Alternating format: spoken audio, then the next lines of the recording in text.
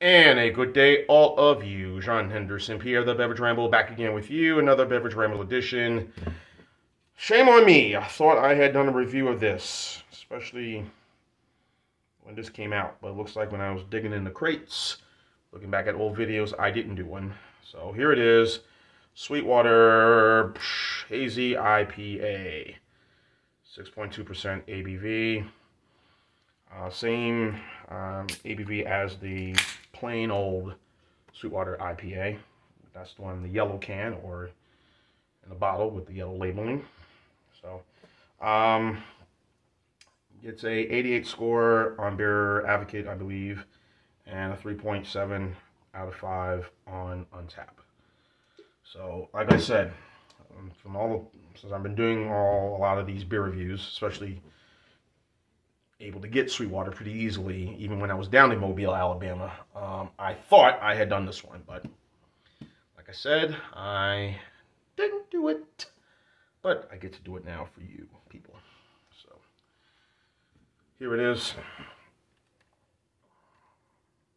Lingo Style IPA. Um, Citra, Mosaic, Eldorado, and Azacca, Azacca, Azacca, Azacca hops. You can't see me. I see you now.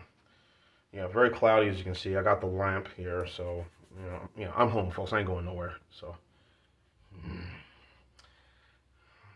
if you're doing the daytime, you'll see that lamp in back in that corner right there. But so I said, let me go ahead and do this one, get this out of the way. So juicy, fresh, and hazy. So it's all the rage of these now Lumen IPAs. Hazy. Again, here's the difference again, if you have not seen. And it's double dry hop. Here's the difference. Hazy and New England style IPAs tend to be more fruity. But there are hops in there, and West Coast style IPAs tend to be a little more hoppy, but the citrus is kind of underlying. So there's your difference. Simple, plain to understand. So, so there it is. Like I said, very hazy. You can see, get all the citrus aromas right right away. So, let's have at it. Cheers.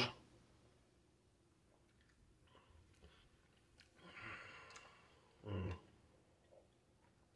I get this from time to time. You know, at the service station, QT, or you know, Raceway, or at the grocery store. Um, obviously, I'm in the home base of the of the brewery um, which is now owned by a cannabis company uh, based out of Canada. Um, uh, Aphria, it begins with an A. But anyway, um, went to the brewery last, uh, actually this past March, I believe. No, this past April or March, I went to the brewery and uh, just kind of check, check the scene out, see what it was, and, you know, had a good time. A lot of fun. A lot of dogs there dog friendly, just like the other brewery I was at this past weekend, um, Monday Night Brewery. And it seems it's this. I guess this is the rage. I guess, or this is the thing. You know, dog friendly, whatever. Um, before I left Mobile and came up here, there was a pub. There was a actually a brew pub. Used to be the home of Haint Blue. Well, they didn't brew beer in there, but that was just their um, just their tap room. Um, the the beer was being brewed in Mississippi. Um, had a little dog dog park, you know, where all the dogs come in. They had food trucks, everything out there. So, and people come in, you know, have their pets and sit there and listen to music and you know watch their pets and drink a beer. Hey, what simple is that? Simple. What's better than that? Hanging out with your dog, having a beer, right?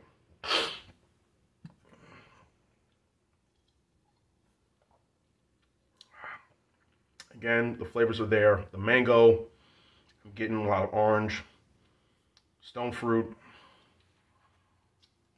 A little, little tropical fruit in this.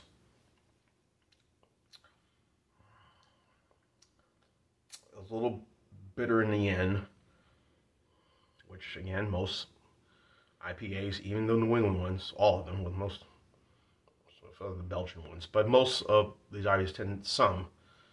I'll take that back. I would say 70% of them tend to have a little bite in the end. So when it says bitter or a little piney, don't make a big stick about it, folks. You're not going to die from it. So, um, like I said, I, I get this quite a bit. You know, if I'm on my way home and I'm going to be making dinner, something, you know, cooking dinner like a, you know, spaghetti, something, or a pizza, you know, ordering a pizza. Frozen pizza, I should say. Just throw in my little toaster oven it do, do its thing. But yeah, um, I get this quite a bit. And actually, I even pair it with a burger. I think this is pretty sessionable where you could pair it with any food.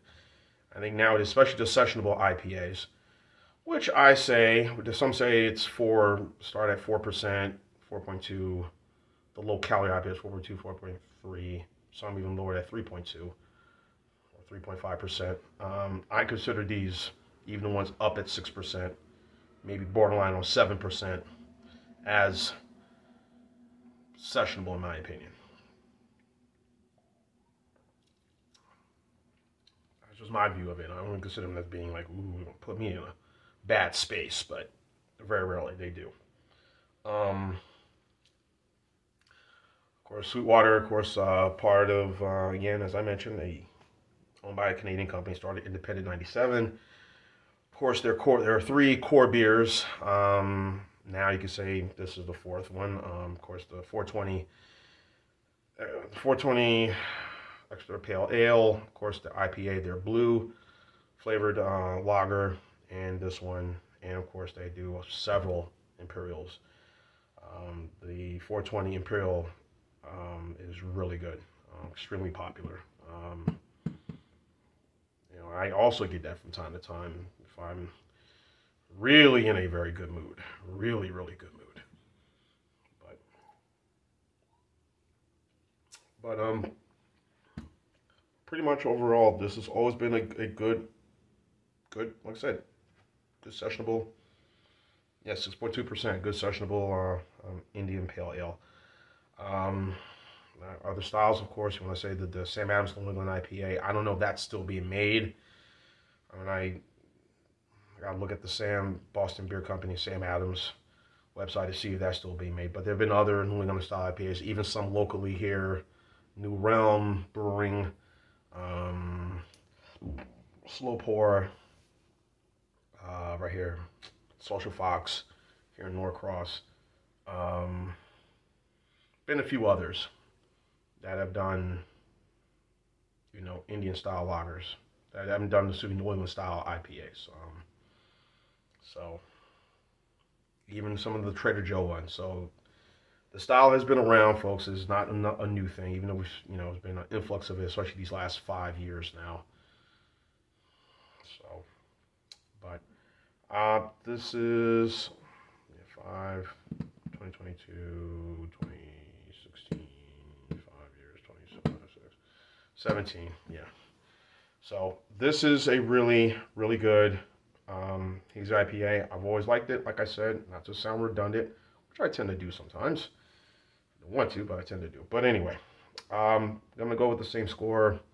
They have it. I'm going to go 8.8. It is easily accessible. I'm definitely, I know anybody, particularly up or down the, the East Coast corridor, can get this, can get Sweetwater.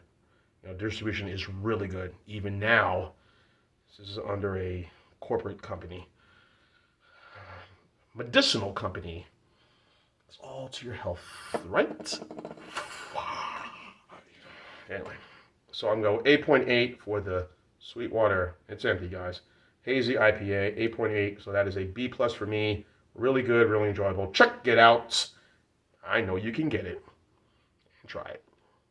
John Henderson Pierre. Oh, by the way, the shirt is a place I go to get some stuff from time to time. So, hope you like my shirt.